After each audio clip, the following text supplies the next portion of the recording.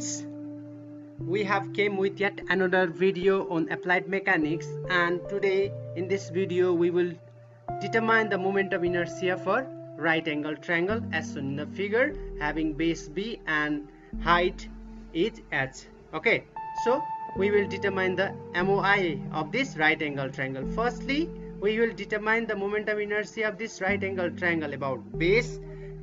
Yeah, that is x-axis and y-axis and after knowing the moment of inertia about base we will determine the moment of inertia about the centroidal x and y axis of the figure that is of the figure of right angle triangle okay?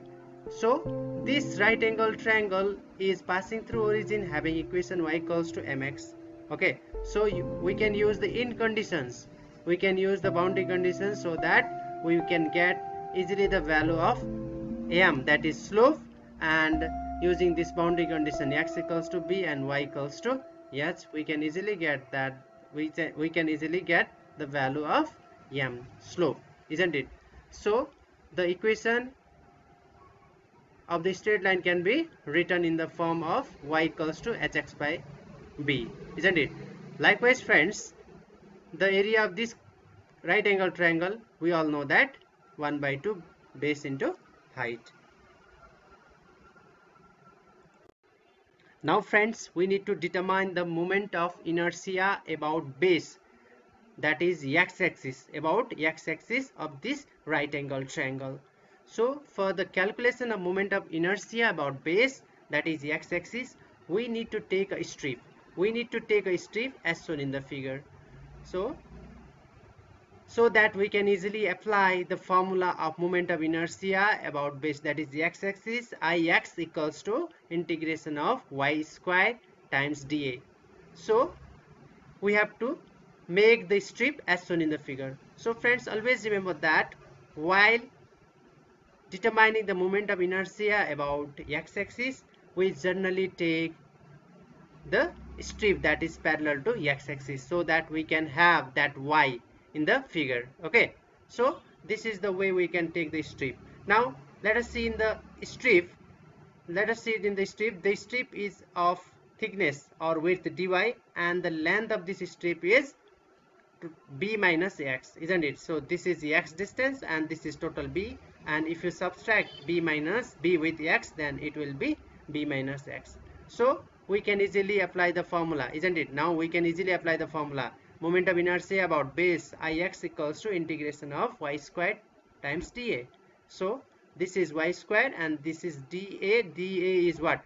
dA is the area of the elemental strip that you have considered. Okay. Now, now and the y. y is the perpendicular distance. y is the distance from the base to the considered strip. Okay. So we will substitute the values of dA so dA in this case is dy times this b minus x. So we will just substitute all these things. And if we and we will just solve this expression isn't it? So there is y and this is in terms of dy so this is in terms of y.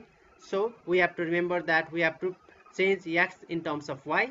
And we have to take limit. So when we are taking limit so since this is along y axis dy is along y axis then the limit will be from 0 to s so if you solve this then you will be getting the moment of inertia about base that is x-axis is equals to b h cube by 12 okay this is about this base. Likewise friends if we are calculating the moment of inertia about the centroidal axis then we have to use the parallel axis theorem isn't it? So parallel axis theorem states that the moment of inertia about base ix can be written as ixx plus ah square isn't it? So if you just interchange it and solve it then you will get the value of ixx. So in this case we have to determine h. H is the perpendicular distance from this base to the centroid isn't it? So the centroid. We have to determine the location of the centroid. So when you are moving along y-axis centroid is located at h by 3 distance from this x-axis. So we will substitute the value of h as h by 3 and we can easily get the value of ixx that is moment of inertia about centroidal x-axis of this right angle triangle.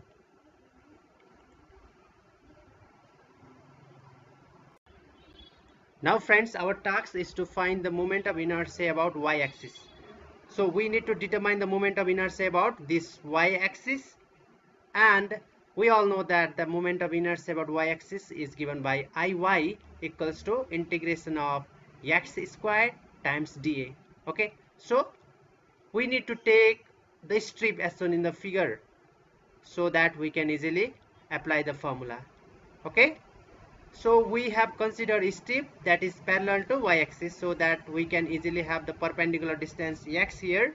And we have considered the thickness or width of the strip as dx. And we know that this length or this height is y at any particular instant of x.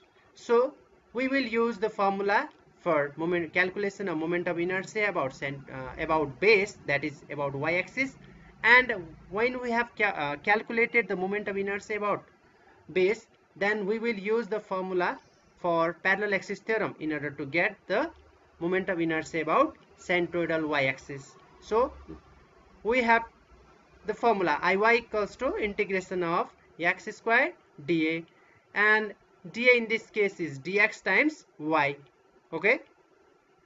And dx is along x-axis obviously the limit will be running from 0 to b. So if you know all these things you can easily solve the values of iy so in this case the value of iy is h b cube by 4 that is about base. So this is about this base. Okay?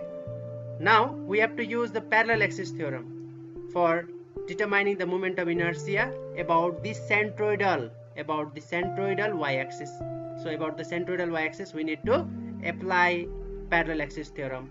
So parallel axis theorem we all know that iy equals to iyy plus ah square where a is the area of the uh, figure that is right angle triangle and h is the perpendicular distance. Or what we can say is the distance between the centroid of this right angle triangle to the y-axis. Okay so this distance is h. So in this case the centroid is located at distance what? Two-third of b. So centroid is located two-third of b. So we will just substitute all these values and we can easily get the value of iyy as hb cube by 36 so friend this is the way we can solve or we can derive the relations of moment of inertia about x and y axis that is about base and how we can apply the parallel axis theorem for getting the moment of inertia about centroidal x and y axis. And this type of uh, derivations are very much important in university level examinations